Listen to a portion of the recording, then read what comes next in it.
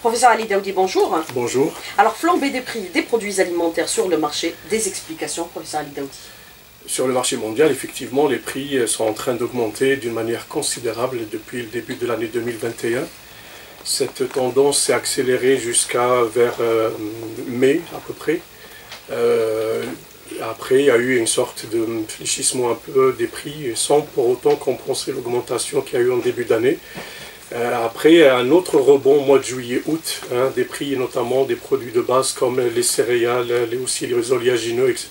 Donc effectivement, il y a une tendance haussière très importante euh, au niveau des prix sur le marché mondial. Ça nous ramène d'ailleurs, nous avons sur des niveaux de prix qui ressemblent d'une manière assez étonnante à ceux de 2000.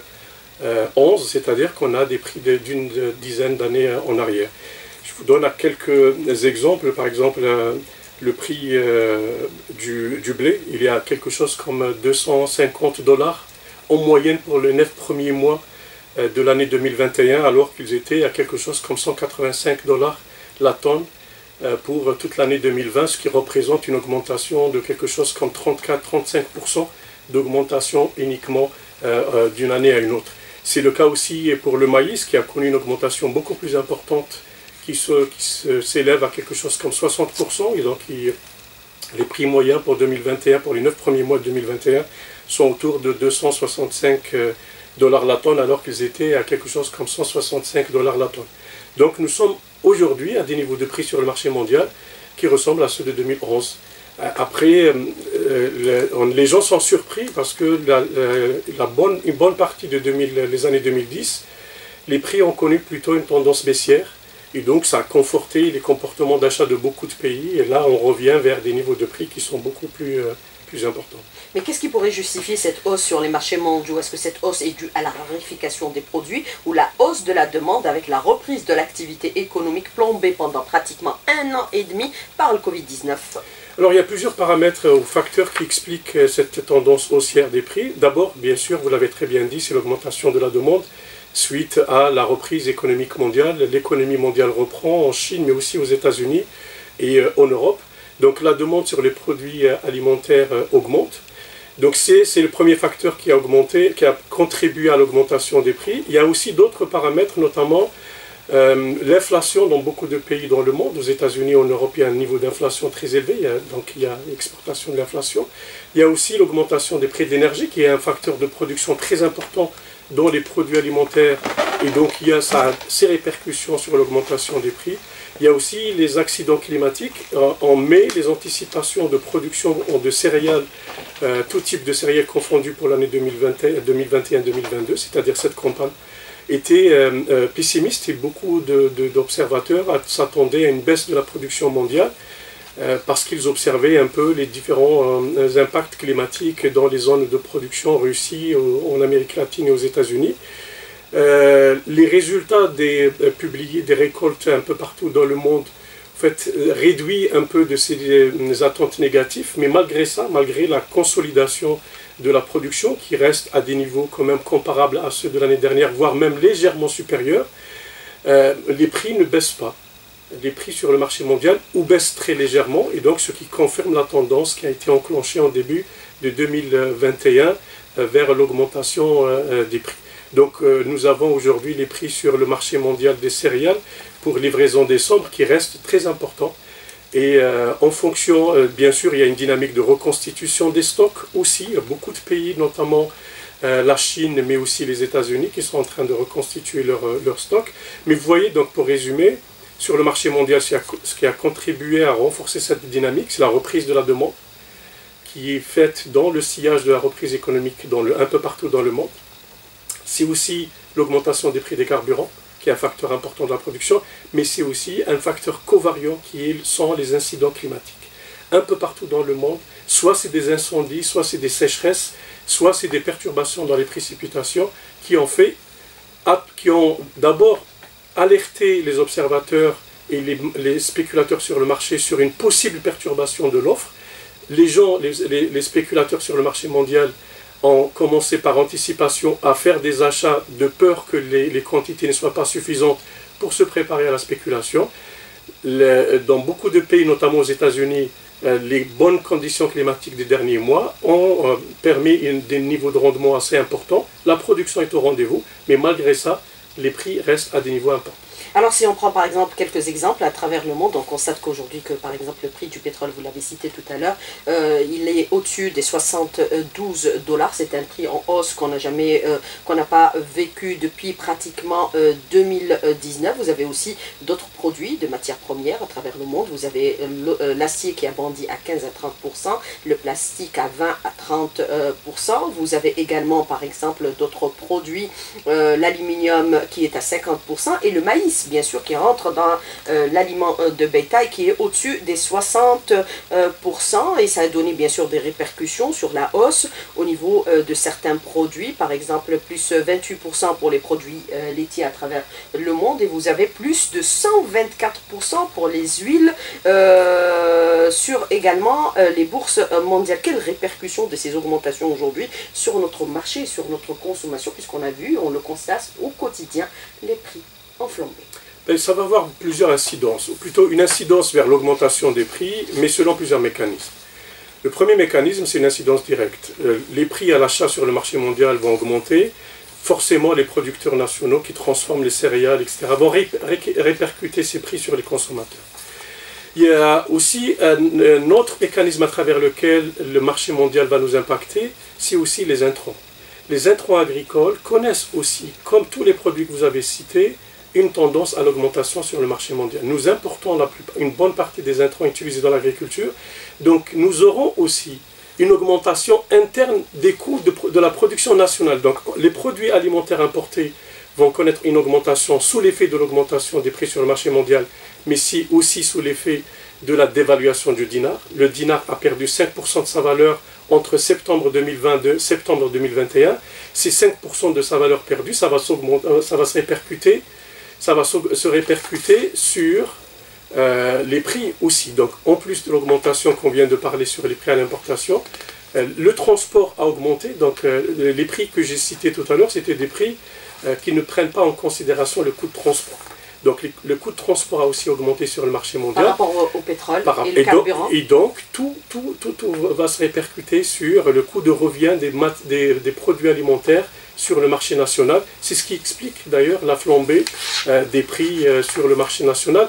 Pour les produits qui sont issus de la transformation et donc qui sont issus de matières premières importées, transformées par l'industrie agroalimentaire, là on va avoir un impact direct. Pour les produits agricoles frais produits localement, l'impact de la tendance haussière des prix des intrants de matières premières sur le marché mondial va les impacter aussi parce que le coût de production va augmenter. Donc on va avoir en définitive une augmentation des coûts de production, des biens alimentaires transformés par l'industrie agroalimentaire et des produits agricoles produits par le secteur agricole. Et d'ailleurs, on le vit depuis maintenant, début 2021, une augmentation assez conséquente euh, des prix à la consommation. Alors vous parlez euh, d'augmentation des coûts de production, mais comment ces prix pourraient se répercuter sur les produits quand on sait que parallèlement certains produits sont soutenus aujourd'hui euh, par l'État, comme par exemple le lait, les céréales, le sucre et l'huile? Pour ces deux derniers, les prix sont plafonnés. Monsieur euh, professeur Daoudi, comment peut-on l'expliquer? Alors, regardez pour le lait, le lait de sachet qui, dans le prix administré, les à 25 dinars. il est fixé à 25 dinars, son prix n'a pas augmenté.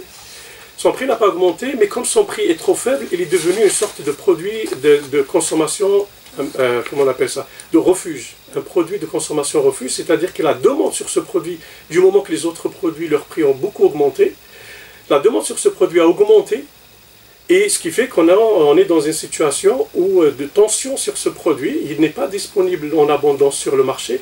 Les quantités qui sont mises sur le marché ne suffisent pas l'augmentation de la demande sur ce produit, parce que regardez, il y a quelques années, le prix du lait UHT euh, coûtait quelque chose comme 70 dinars.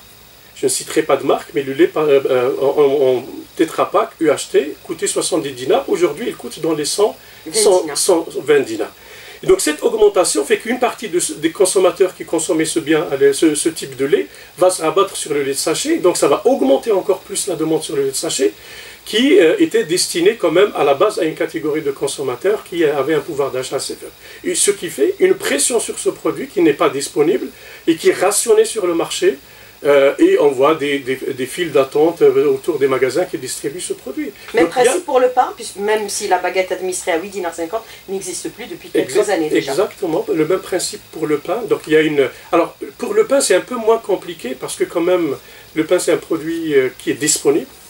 Euh, il y a eu une petite tension cet été sur la baguette de 8,5 dinars ou 10 dinars. Elle n'existe pas. Exactement, et, mais les choses sont rentrées dans l'ordre. Mais l'offre sur l'offre du pain est disponible, il n'y a pas de pression sur le marché du pain. Euh, par contre, il y a de la spéculation autour de la semoule. Les prix qui sont administrés de la semoule ne sont pas respectés sur le marché. Et donc, au fait, toute, les, toute euh, cette administration des prix a montré ses limites aujourd'hui.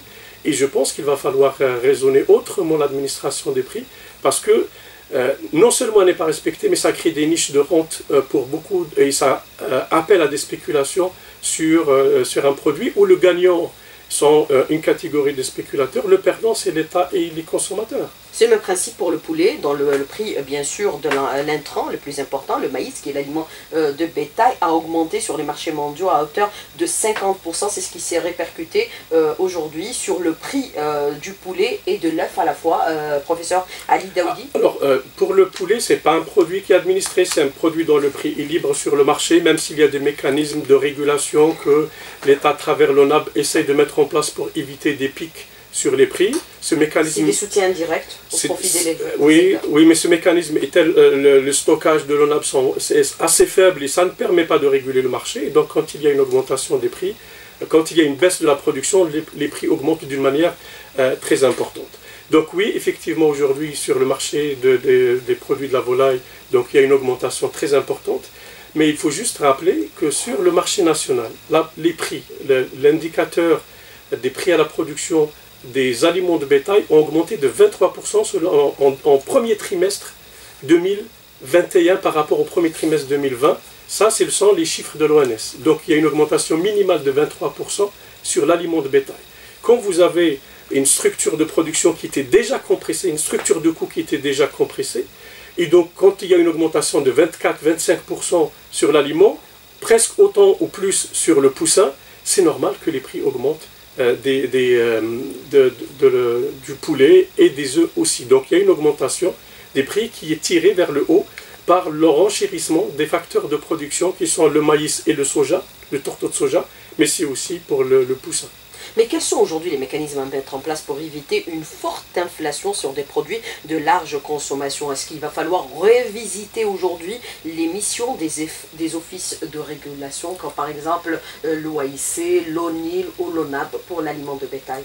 Il faut revisiter les mécanismes de régulation. Les, les, mécanismes de régulation, par exemple pour les céréales, où euh, euh, l'État garantit un prix d'achat unique pour tous et qui revend à des minoteries et semouleries à un prix très très faible et qui leur impose un prix à la vente aux consommateurs et définit les marges, on, voit aujourd'hui que ça ne marche pas. Les minoteries semouleries récupèrent un blé subventionné d'une manière très importante, alors qu'ils revendent sur le marché à des prix qui ne sont pas nécessairement ceux définis par la réglementation. L'État ne pourra pas contrôler tout ça. la meilleure situation, c'est de continuer à soutenir les producteurs, c'est nécessaire de continuer à soutenir les producteurs, continuer à soutenir les producteurs pour un ou deux produits et laisser le marché libre fonctionner. Il est déjà le marché, il est d'une certaine manière assez libre, mais il y a une sorte de volonté de, ne pas reconnaître les faits sur le terrain. La semoule, par exemple, sur le marché, la semoule extra, quand on va son prix, il n'a rien à voir avec le prix qui est défini dans les décrets du ministère du Commerce. Mais est-ce qu'on peut considérer aujourd'hui que la désorganisation et la spéculation renforcent encore davantage l'augmentation de ces prix? Quand ils sont à la hausse, on les répercute, mais quand ils baissent sur les marchés mondiaux, ils ne sont pas répercutés. Qui doit contrôler? Qui doit surveiller? Bah, Est-ce qu'il faut mettre en place des mécanismes pour surveiller les prix à l'international? Bah, Écoutez, on ne peut pas surveiller les prix à l'international. ce que peut faire l'État, c'est de créer des mécanismes pour que, pour certains produits stratégiques, uniquement pour les produits de première nécessité pour les consommateurs, que le contrôle soit établi d'une manière. D'abord, il faut mettre des mécanismes réalistes, réalisables, pour que l'État puisse les contrôler. On ne peut pas tout mettre. Euh, on peut pas mettre des mécanismes qui ne sont pas contrôlables par l'État. Après, pour les autres produits, laissez faire le marché. Laissez faire le marché parce que les prix envoient des signaux de rareté aux producteurs et ces signaux de rareté aux producteurs les incitent à investir. Je reviendrai tout à l'heure sur la question de, euh, sur le marché mondial, euh, sur le marché national, euh. L'augmentation des prix, l'instabilité des prix sur le marché national est en train de poser un problème aux investissements agricoles. Les agriculteurs ont réduit leur investissement à la production cette année. Et on risque d'avoir pour les, fruits et légumes pour lesquels nous avions une tendance haussière de la production, nous risquons d'avoir une chute de la production parce qu'ils ne font plus confiance en l'avenir, les prix fluctuent trop fort, ils ont peur de l'avenir, euh, on a l'impression qu'il n'y a pas de confiance dans l'avenir, les, les, consommateurs ne sont plus au rendez-vous, il y a une baisse du pouvoir d'achat, et beaucoup de producteurs que je connais sont en train de baisser leur investissement dans la production de pommes de terre, des cultures maraîchères sous serre, etc., par anticipation d'une fluctuation importante donc des prix. Et comme euh, les coûts de production sont trop élevés à l'unité, à l'hectare, ben, ils ne vont pas engager beaucoup d'argent pour risquer de perdre beaucoup d'argent aussi.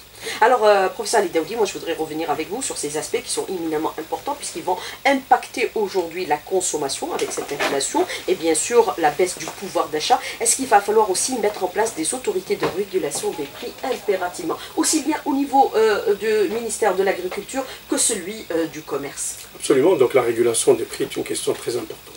Mais encore une fois, la régulation des prix ne peut être, euh, euh, être opérante que pour certains produits sur lesquels l'État engage les moyens pour contrôler. Sinon, on ne peut pas tout contrôler.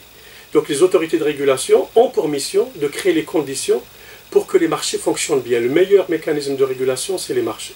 Sauf que nos marchés ne fonctionnent pas bien parce qu'il n'y a pas accès à l'information, ils ne sont pas transparents, euh, les opérateurs ne sont pas connus, donc il y a un flou total dans les filières agricoles.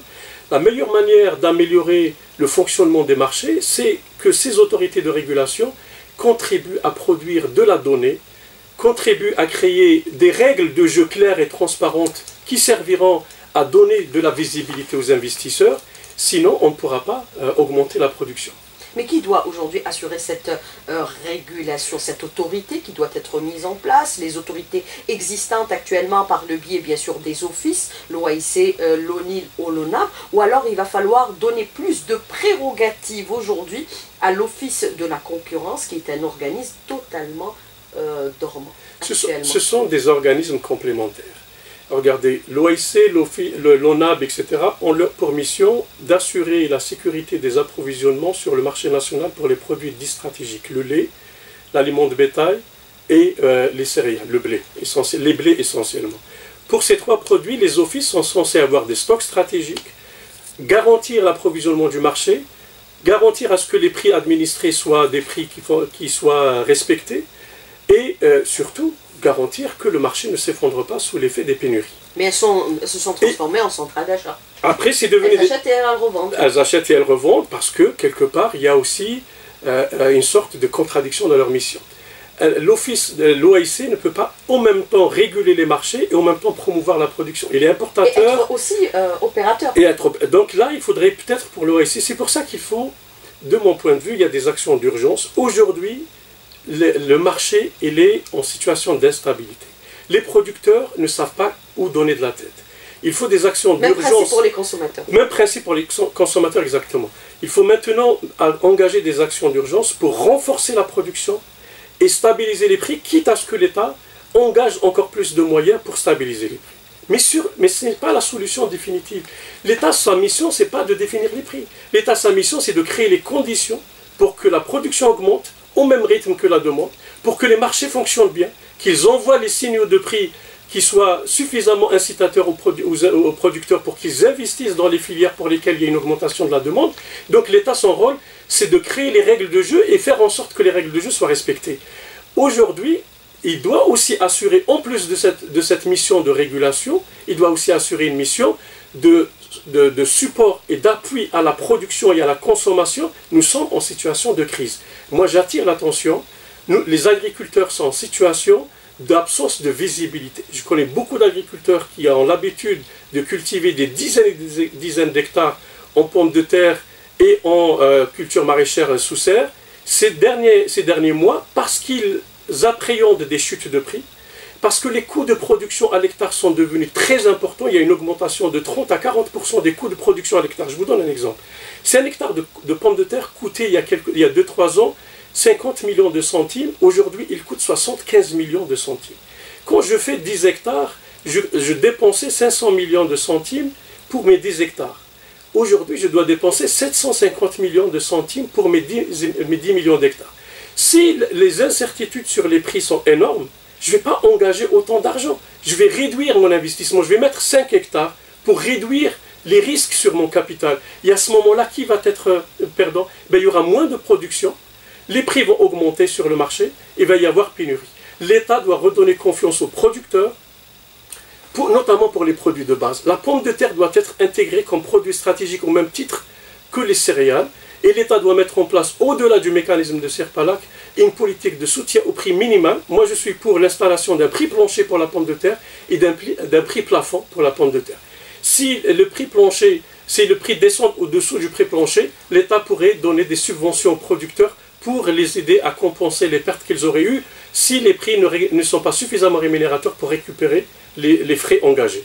et, mettre en place un prix plafond pour éviter justement que les prix ne dépassent un certain seuil et que les consommateurs euh, soient pénalisés. C'est impératif de, parce que le CIRPALAC, tel qu'aujourd'hui il a été mené, sa dimension ne permet pas d'influencer sur les prix. Donc il est nécessaire de revoir le mécanisme de régulation pour, pour ce produit qui est un produit de large consommation et qui est aussi un produit qui peut être un substitut aux céréales parce que c'est une source principale de calories pour les consommateurs algériens. Mais comment renforcer justement de façon claire aujourd'hui le soutien pour les producteurs et les éleveurs quand on sait que par exemple la filière avicole est en crise actuellement, euh, professeur Ali Daoudi? Alors la première mesure d'urgence qui peut être engagée aujourd'hui pour soutenir les producteurs, c'est peut-être de euh, détaxer, si vous voulez, les facteurs de production. avoir une vision sur le court terme, sur une année ou deux, décider de réduire toutes les taxes qui, qui sont aujourd'hui imposées aux facteurs de production importés. C'est-à-dire C'est-à-dire réduire, réduire les taxes sur le maïs, réduire les taxes à l'importation sur euh, euh, les tourteaux de soja, réduire les taxes à l'importation sur le plastique importé qui va vers les serres, réduire les taxes sur les, semences, etc. Mais encore une fois, ces mesures n'auront de sens que si elles sont inscrites dans une vision pour le long terme. L'idée, ce n'est pas de réduire pour réduire. L'idée, c'est de réduire pour soutenir les producteurs aujourd'hui, tout en leur montrant un cap dans 5 années, dans 10 années, voilà le niveau de production que vous allez atteindre et vous allez contribuer à, à la fiscalité nationale, à l'effort national. Donc ce pas des mécanismes qui vont durer, mais aujourd'hui, le secteur agricole, de mon point de vue, les producteurs dans beaucoup de filières, notamment dans la filière euh, euh, culture maraîchère, qui est une filière qui était jusque-là une filière dynamique et qui réussissait à assurer des taux de croissance élevés qui accompagnent le niveau de l'évolution de, la demande, ben aujourd'hui cette filière risque euh, elle, est grippée, si vous voulez, risque de connaître des problèmes à court terme. L'État doit engager des mesures d'urgence par rapport à cette filière.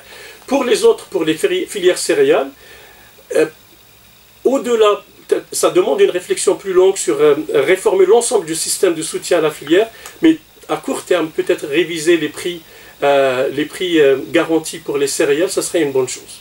Alors, euh, vous avez aujourd'hui, par exemple, parmi euh, les euh, dispositions qui sont aujourd'hui envisagées, c'est pour casser un peu cette chaîne, un peu de spéculation aussi, qui aggrave encore davantage la situation par rapport à cette flambée des prix que nous connaissons actuellement sur les marchés, c'est d'aller vers la vente directe, c'est-à-dire producteur-consommateur. Est-ce que cela pourrait être possible quand on sait que parallèlement, on pourrait casser toute une chaîne de distribution D'abord, ce n'est pas une mesure réaliste. Vous imaginez quelqu'un qui a 50 hectares de pommes de terre et qui produit donc 50 fois 300 et vous allez lui dire de vendre vous-même votre production. Comment il va vendre ces milliers de, de quintaux de pommes de terre directement? C'est pas possible. Les producteurs ont une mission.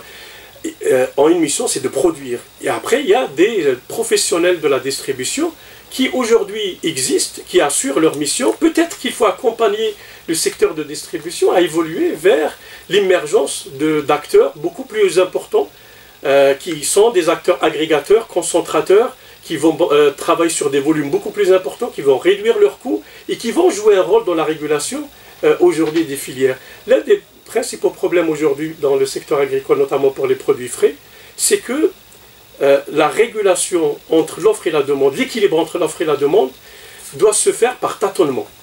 les producteurs ils sont trop nombreux, les consommateurs, ils sont nombreux, 145 millions de consommateurs, et donc les producteurs sont censés deviner combien sera la demande l'année prochaine sur tous les produits et ajuster leur décision de production en fonction de ça. Et eh bien, ce tâtonnement conduit des fluctuations. Des années, il y a la production qui dépasse euh, l'offre, et donc les prix baissent. Inversement, il y a des années où la production n'est pas à la hauteur de la demande, et les prix euh, augmentent, et nous allons, euh, nous vivons ce jeu, de yo-yo sur les prix, etc. Lorsque nous aurons des acteurs agrégateurs qui vont sur une partie importante de la demande, par exemple 40-50% du marché sera contrôlé par quelques entreprises, à ce moment-là, ces entreprises pourront faire les calculs par anticipation sur la demande. Ils vont aller faire des contrats avec les producteurs et demander euh, des quantités en fonction de la demande anticipée. Et à ce moment-là, les prix seraient beaucoup plus stables. C'est ce qu'on voit d'ailleurs dans les pays développés. C'est l'émergence de la grande distribution qui a permis à créer ce lien entre les producteurs trop nombreux et les consommateurs trop nombreux. Il y a au milieu des, agrégateurs, les grandes surfaces qui ont des centrales d'achat, qui, qui brassent des volumes énormes, qui font des contrats avec des producteurs avec des prix définis à l'avance, qui anticipent sur la demande, et à ce moment-là, il une relative stabilité. Ça n'empêche pas qu'il y ait des fluctuations qui seraient euh, provoquées à ce moment-là par des accidents climatiques ou par euh, des perturbations logistiques, etc. Mais c'est toujours euh, moindre et ce serait des fluctuations sur des courts termes. Mais justement, la faiblesse de notre système aujourd'hui, c'est la grande distribution qui est un élément essentiel de régulation, puisque nous avons vu aujourd'hui qu'avec euh, la grande distribution à travers euh, les pays euh, développés, c'est bien sûr ces centrales d'achat négocient directement avec les producteurs pour que ces derniers baissent leurs marges, et également pour la distribution, pour à la fois encourager, booster la consommation et à la fois la production pour qu'elle ne soit pas impactée justement par ces effets néfastes. Est-ce qu'il va falloir aller vers l'encouragement de l'émergence de la grande distribution dans notre pays, puisqu'on a donné quelques enseignes qui pratiquent des prix supérieurs à ceux, euh, par exemple, des petites supérettes des quartiers? C'est ce que je disais tout à l'heure. On doit engager aujourd'hui des mesures d'urgence pour sauver le producteur et le consommateur, mais dans le cadre d'une vision globale. Vision globale, c'est-à-dire comment sera la configuration du système performant dans 5-10 ans. Quel acteur on doit accompagner pour évoluer et émerger et créer les conditions d'efficacité. les grandes centrales d'achat. Les grandes centrales d'achat. Les grandes, euh, aux États-Unis, quelque chose comme 60% euh, de la production agricole se fait dans le cadre de l'agriculture contractuelle avec soit les grandes entreprises de transformation, soit les supermarchés. Et à ce moment-là, quand vous avez 60% de la production qui se fait dans le cadre de l'agriculture contractuelle et où les producteurs savent à l'avance quel prix ils vont, à quel prix ils vont vendre. À ce moment-là, ils, vont, ils ont l'information, ils vont mesurer leur investissement, ils vont faire les innovations qu'il faut qu'avec le prix d'achat défini avec les, supermarchés, ils vont faire en sorte à ce qu'ils vont gagner de la marge, ils vont innover, ils vont investir beaucoup. Mais quand vous avez des producteurs qui ne connaissent pas de quoi sera fait le prix demain et qui subissent euh, par contre une augmentation considérable des charges de production, à ce moment-là, ils ont un comportement tout à fait rationnel, c'est de réduire leur engagement dans la production pour éviter les pertes.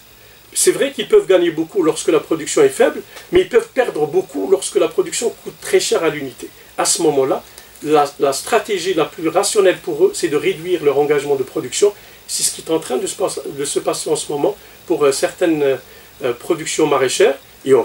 Risque donc d'avoir des pénuries sur le marché et donc des prix beaucoup plus importants. Mais sur la question de la production aujourd'hui, est-ce qu'il va falloir s'adapter à notre euh, climat qui est aujourd'hui aride et semi-aride, de telle sorte aller vers des productions beaucoup plus résistantes à l'eau au manque d'eau plutôt? Absolument. D'ailleurs, si on doit tirer une leçon de la situation actuelle. L'année dernière, c'était le Covid et c'est toutes les incertitudes sur les fonctionnements des chaînes logistiques sur le marché mondial. Cette année, il y a eu aussi... Cette année, il y a eu l'augmentation des prix et aussi il y a un phénomène covariants qui sont les changements climatiques qui sont en train d'impacter les zones de production. la production, elle est instable sur le marché mondial. C'est une évidence. On va continuer à acheter sur le marché national, mondial, mais on ne peut pas tout le temps continuer à compter uniquement sur le marché national. On doit avoir une politique de promotion de la production nationale, quel que soit son coût. Maintenant, il faudrait qu'on ose dire ça, qu'on doit accompagner, mais pas pour toutes les productions. L'État doit définir, de mon point de vue, les blés, l'orge, la pomme de terre, les légumineuses comme étant des produits stratégiques. Sur ces produits-là, mettre le paquet, mettre le paquet en, appui à la production, mettre le paquet dans la régulation des marchés, mettre le paquet pour la promotion de la, consommation. Pour les autres produits, laisser faire le marché, laisser faire le marché tout en accompagnant les consommateurs pour euh, justement pouvoir accéder. Il y a aussi une autre problématique que nous n'avons pas euh, évoquée en Algérie, c'est la problématique de l'érosion du pouvoir d'achat. Le pouvoir d'achat en Algérie est trop faible, ce qui fait que les coûts, nous sommes en train d'assister à une sorte de fracture aujourd'hui sur les, produits, les prix des produits agricoles, les prix à la production, c'est-à-dire les coûts réels, les, coûts, les, les, prix, et le coût de revient des, prix, des produits agricoles sont en train d'atteindre des niveaux où la production agricole n'est pas rentable s'ils ne sont pas vendus à certains niveaux. Et si à, ces prix élevés, les consommateurs ne peuvent pas acheter. Donc il va falloir quelque part aussi avoir une politique des salaires, une politique des revenus au niveau national. Il faut que les salaires, les bas salaires augmentent pour soutenir la demande alimentaire en Algérie. C'est une condition aussi pour booster la consommation et ne pas euh, bloquer l'économie. Alors vous avez le pouvoir d'achat euh, qui baisse et euh, les produits qui augmentent, mais les salaires qui n'évoluent pas parallèlement. Alors quand vous parlez de légumineuses par exemple, bien sûr c'est les les pois chiches, c'est les lentilles, etc. voilà. Est-ce que l'État doit assurer aussi des stocks de sécurité de telle sorte à assurer une régulation dans le cas où il y a augmentation, puisqu'on a vu dans certains endroits, l'OAIC a sorti des quantités importantes pour pouvoir un peu maintenir les prix euh, au même niveau euh, aujourd'hui, professeur Ali Daoudi Ce qui doit arriver, de mon point de vue, pour les légumineuses, c'est d'augmenter le prix plancher, le prix garanti par l'État.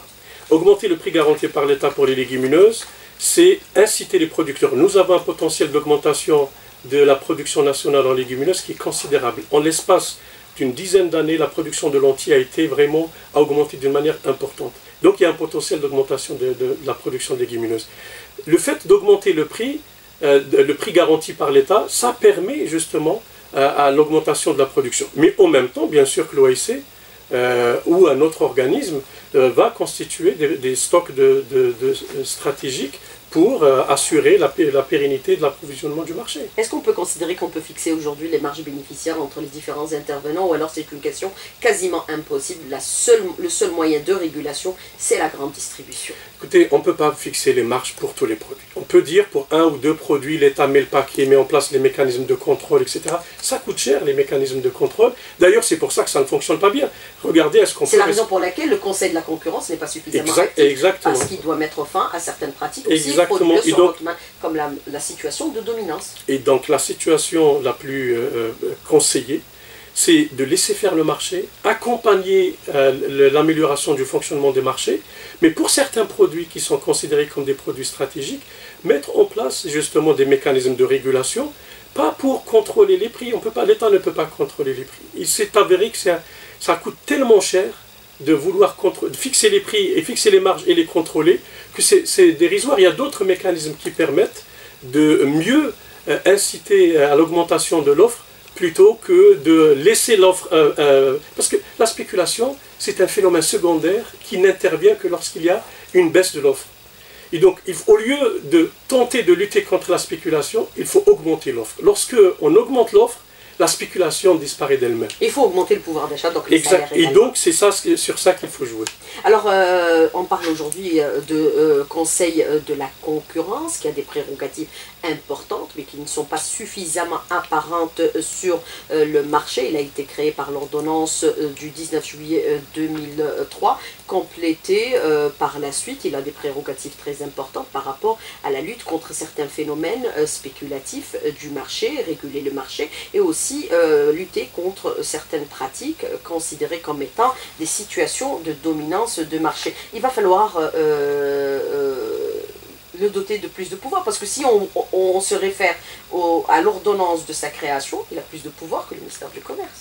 Oui, mais il faut peut-être euh, se rendre à l'évidence que ce concept, dans le secteur agricole, le marché agricole, il n'y a pas de phénomène de monopole ou de phénomène même d'oligopole. Je parle des produits agricoles. Oui, mais on parle aussi de la transformation. D'accord. Pour la transformation, il y a certains produits pour lesquels, enfin certains, oui, certaines filières pour lesquelles nous avons l'émergence de grands producteurs qui peuvent avoir un pouvoir sur le marché, un pouvoir euh, de définition des prix, un pouvoir pas monopolistique mais oligopolistique.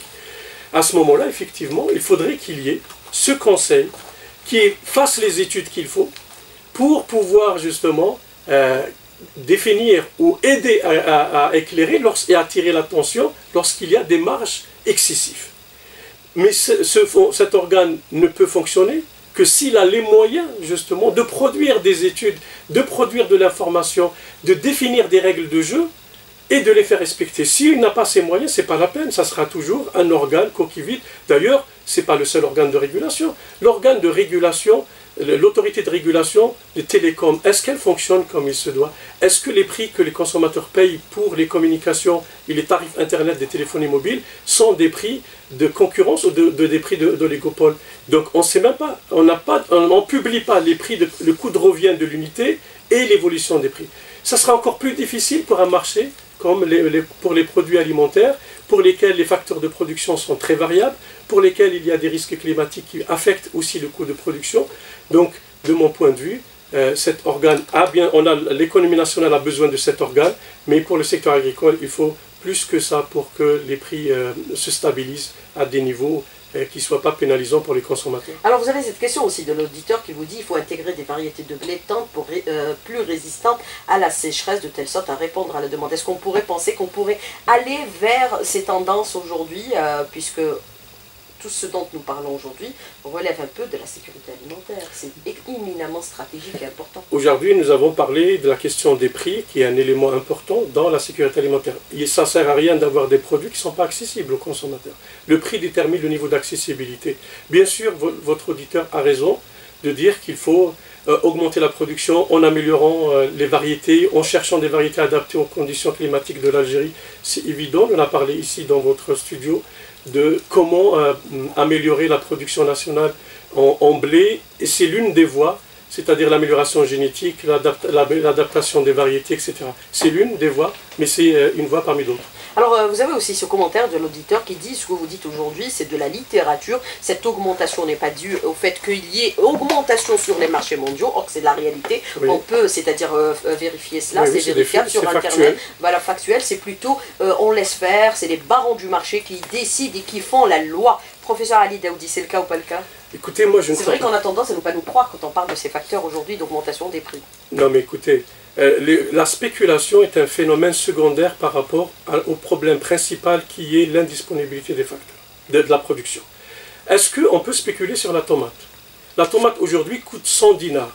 Qui peut me dire que quelqu'un peut spéculer sur la tomate qui est un produit ultra périssable? Si tu ne le vends pas aujourd'hui, il sera pourri dans deux jours. Donc il n'y a pas de spéculation sur la tomate. L'augmentation des prix de la tomate s'explique par la faiblesse de la production. Même principe pour la sardine. le même principe pour beaucoup, dinars, même principe moment, pour beaucoup de produits frais. Même principe pour beaucoup de produits frais. S'il y a augmentation des prix pour les produits frais, c'est parce que la production n'est pas élevée, c'est pas parce qu'il y a une spéculation. Il y a, par contre, il peut y avoir de la spéculation pour d'autres produits. Les légumineuses, par exemple, les légumes secs, il peut y avoir de la spéculation. Parce qu'on peut les stocker. parce qu'on peut les stocker, mais ça reste quand même des phénomènes, un phénomène qui est, je dirais, provoqué par la rareté plutôt qu'il provoque la rareté. Donc c'est une conséquence de la rareté. Lorsque le marché est abondant, qui va constituer des stocks pour influencer la formation des prix? C'est lorsqu'il y a une tension sur l'offre, lorsque l'offre est, est faible par rapport à la demande, que les gens sont motivés à aller constituer des stocks dans une perspective d'anticipation que les prix vont encore augmenter le mois prochain et donc ça va encore accélérer l'augmentation des prix. Mais je dis c'est un phénomène secondaire dans les marchés agricoles, je dis bien, je ne parle pas de tous les marchés.